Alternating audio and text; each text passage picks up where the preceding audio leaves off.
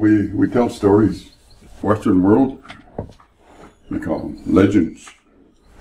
Hmm? That right? Or things like that. We call them stories.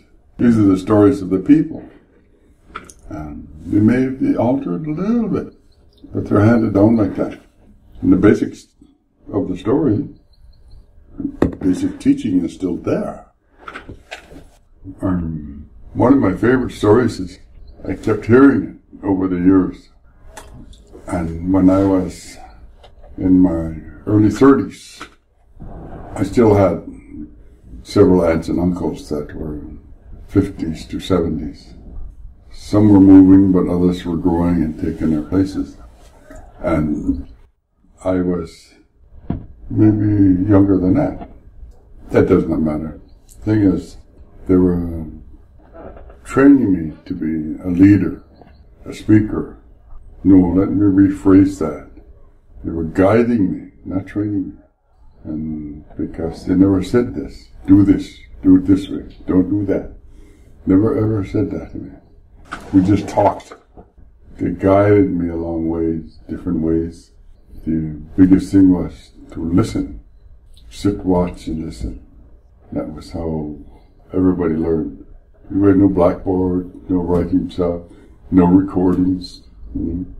They didn't even have television. Oh, I guess they did at that time. Yes, they had television. But no one was allowed to record because you were expected to learn from memory. Mm. So I watched these people, the speakers, because if I was going to be leader, I had to be able to speak in public. And if I wanted to speak in public, to the public, I had to capture their attention and hold their attention and know when to stop talking. Well, I was just starting out. I knew none of these things. I could do nothing of those things to a degree. And I lost everybody. I'd get going, I would get quite animated, I would lose them. You know when you lose somebody. So I lived not too far from our big house where everybody gathered. And my one uncle was staying with us. He'd fallen down and broke his arm. Left his right hand broke hand. And he came over and he was staying with us. And I was feeling down. And he told my late wife to, we'd like to have some tea. And you're a good scout. Bannock. So she set the table and we sat down, had tea, bannock, peanut butter, plum jam. That was a big treat, boy. Everybody had peanut butter and plum jam. You didn't? Hey, what's with you? That was the treat.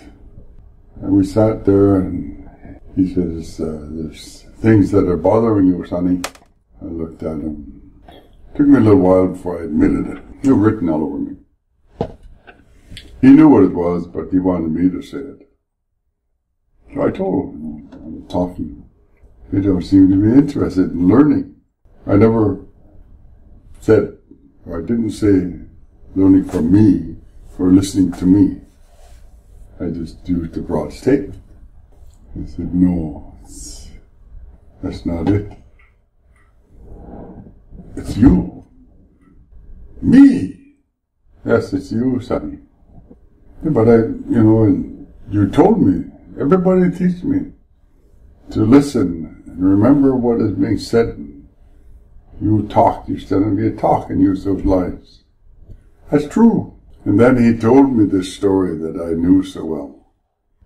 You probably have heard it. Spalt was raven, and Yachola was eagle.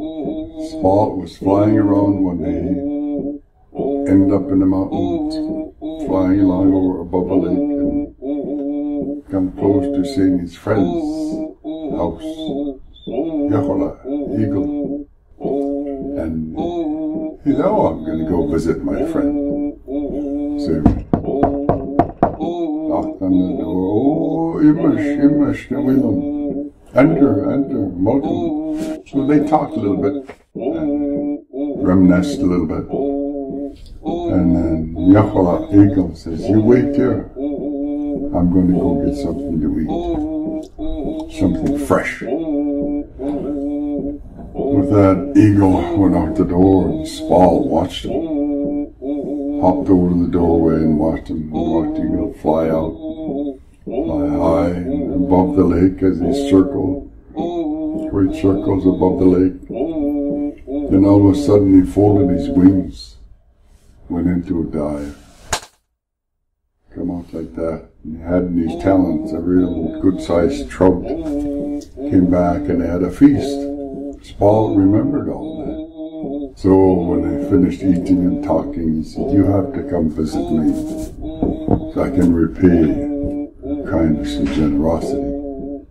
Yes, I will do that, Spall. I will do that. So one day, oh, Imish, the wheel. And here was Yahola at the door coming to Spall's house.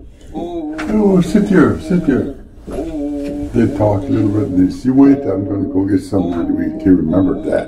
So throughout, but where Spall lived, there was no lake, it was a river. And he went up flying, let's see, yeah, okay, so he started flying in a circle above the river.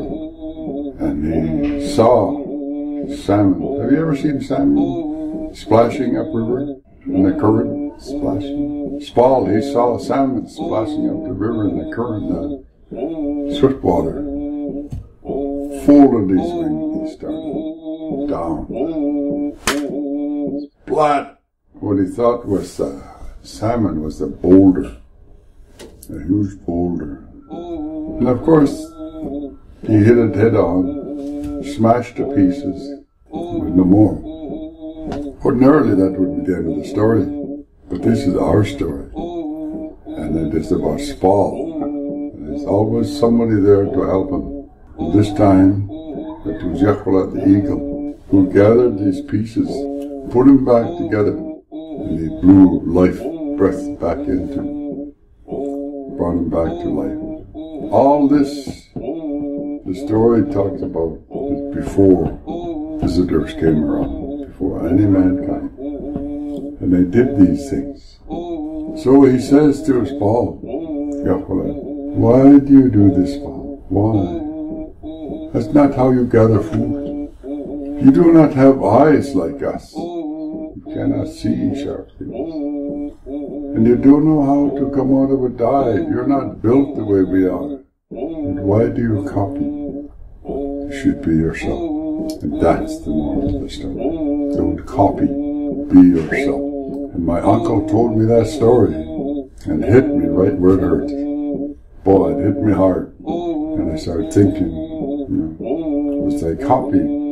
But the, that's uh, one of the rare times he, I'm told, what you've been doing you've been repeating everything all your uncles and your aunts have said. You've not fixed up the words, put new words and it mean the same thing.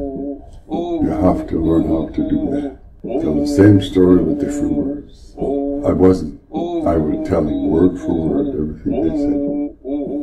And that was one of the things. One of the biggest things I ever learned was be yourself.